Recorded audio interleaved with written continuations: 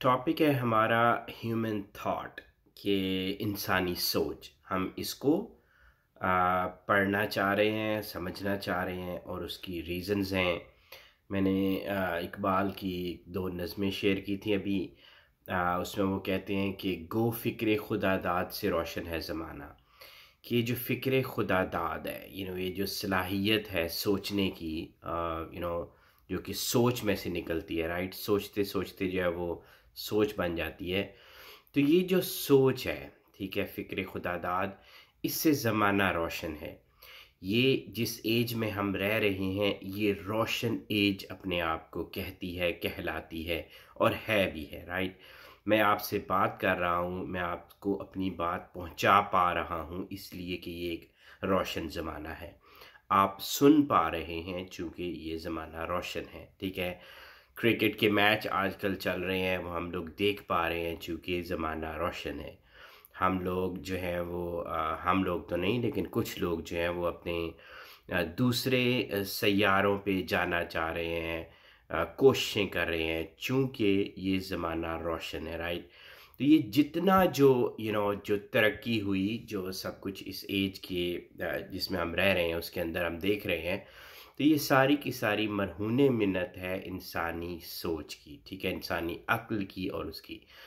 लेकिन इकबाल को जब हम पढ़ते हैं, उनकी शायरी को समझने की कोशिश करते हैं तो अक्ल के महदूद होने का बहुत उन्होंने ज़िक्र किया है।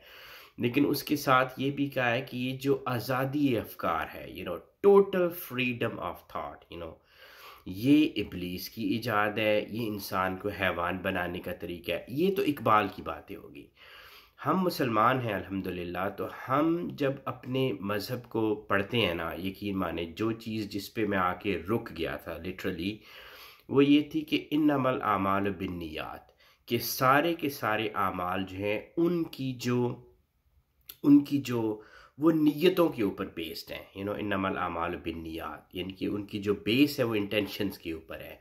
अमल यू नो ज़रूरी है लेकिन अमल के पीछे नीयत जो है ना वो डिफ, डिफ, वो डिफ़ाइन करेगी कि वो अमल ठीक था कि गलत था। यू नो कुरान से अब हर, हर सारी मिसालें देख लें आप ऐसे ही होगा। तो और जो इंटेंशन है वो भी इंसानी सोच में से ही निकलती है। क्या हम कह सकते हैं राइट कि जो ये सोच है इंटेलेक्ट है, उसी में से इंटेंशन भी एक चीज़ है जो निकलती है राइट तो हमारा पूरे का पूरा मज़हब, चूँकि हमारा मज़हब फेथ है, ईमान लेके आना और फिर ईमान के साथ अमल करना राइट अमल। और अमल यू नो इंसान मुँह से तो बोल सकता है कि मैं ईमान लाया, इन इन चीज़ों पे ईमान लाया लेकिन फिर उसके अमल यू नो हो सकता है कि वो ज़ाहरी अमल भी कर ले। लेकिन अमल और इस ईमान के दरमियान में इंटेंशंस आती हैं राइट तो उसका सिर्फ़ रब को पता है कि वो इंटेंशंस किन इंटेंशंस के साथ वो काम कर रहा है। अमल ज़रूरी है। अमल के बगैर तो ईमान का फ़ायदा नहीं है, लेकिन वो जो अमल है उसके पीछे जो डोर है वो इंटेंशंस के हाथ में यू नो तो हमारे लिए बहुत इंपॉर्टेंट है कि हम समझें कि ये सोच क्या चीज़ है सोच काम कैसे करती है। तो इसको यू नो क्यों इकबाल ने ये कहा यू नो कि इबलीस की ईजाद और ये क्यों यू नो तो इसके साथ इश्यूज़ भी हैं। अगर ज़माना रोशन है तो आप इस ज़माने के इश्यूज़ हमें बताने की ज़रूरत नहीं है राइट आ, हर जो मसला है मैं यू you नो know, जितना मुझे समझ आई और जो मैंने पढ़ा हर मसला it links back to human thought उसका जो ओरिजिनेशन पॉइंट होता है ना, आप अपनी हमारी फैमिलियों के मसलों से शुरू करें, बच्चों के, बड़ों के मियाँ बीवी के यू नो जितने ये आप ड्रामे देखते हैं, जितने यू नो यहाँ से शुरू करें। फिर जो आपस में इंसानों के, ग्रोहों के, मुल्कों के यू नो ये सारे के सारे जो है ना, ये बेसिकली उसका जो, वो ह्यूमन थॉट में से निकले हुए हैं यू नो थॉट को ना समझने की वजह से एक दूसरे को ना समझने की वजह से। तो ये बहुत ज़रूरी है।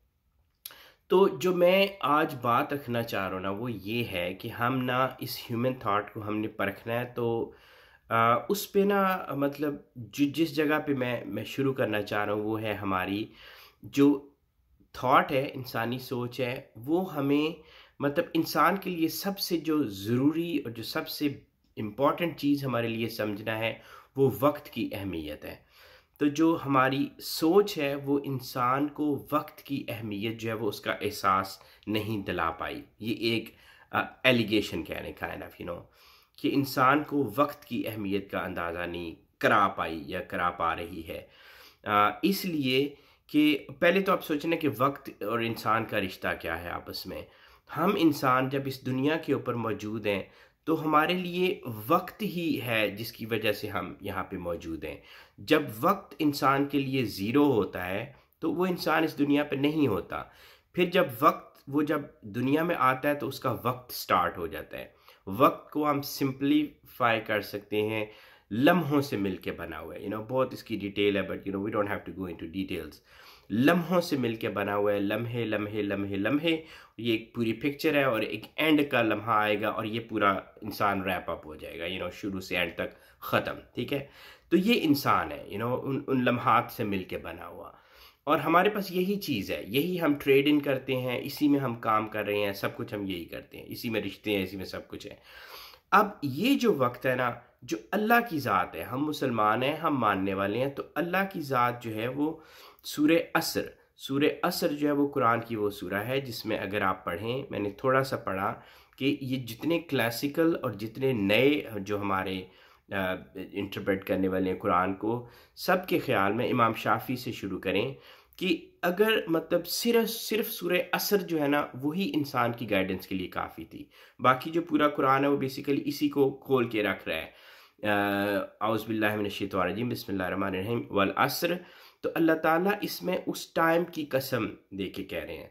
अल्लाह ताला की ज़ात जो है वो हर एक शय पे मुहित है। हम इंसान हैं, सारे इंसान जो आए, जो आ रहे, आए, अभी हैं, जो आगे आएँगे, सबका ये जो टाइम है, जो लम्हात का वो एक सेटअप होता है ना, जिसमें इंसान बनता है शुरू से लेके एंड तक। तो अल्लाह ताला ने हर इंसान को उसका अहाता किया हुआ है, उसके वक़्त का, ठीक है? और फिर उस उस वक़्त की वो कसम दे के कह रहे हैं, वल असर इन नल इंसान लफ़ी खुसर, कि इंसान जो है वो खसारे में है, ठीक है? आगे सारी एक्सेप्शन हैं, जो कि बहुत इंपॉर्टेंट एक्सेप्शन हैं, लेकिन जो अथॉरिटी जो जो अल्लाह ताला हमें बता रहे हैं और किस के थ्रू बता रहे हैं? हजूर सल्लल्लाहु अलैहि वसल्लम के थ्रू यानी कि जो दुनिया के सबसे सच्चे इंसान, यही हमारा ईमान है, दुनिया के सबसे सच्चे इंसान के के मुँह से ये बात निकली और ये बातें जो है वो उनकी, जो कुरान है वो उनकी थॉट में से निकली हुई चीज़ नहीं है राइट ये उनकी उनकी अपनी इंक्लिनेशन इंक्लिनेशन नहीं है यू नो उनके अंदर से। बल्कि ये अल्लाह की तरफ़ से उनको, उनके अल्फाज हैं यू नो जो उनके थ्रू निकले। तो इसमें अल्लाह ताला बता रहे हैं कि इन नल इंसान लफ़ी खुसर, के इंसान खसारे में। तो आप ये, हमें ये सोचने की ज़रूरत है कि जो हमारी सोच है क्या ये हमें वार्न कर पा पाई है या पा रही है कि मैं खसारे में हूँ या इंसान खसारे में क्या ये हमें वार्न कर कर पाती है?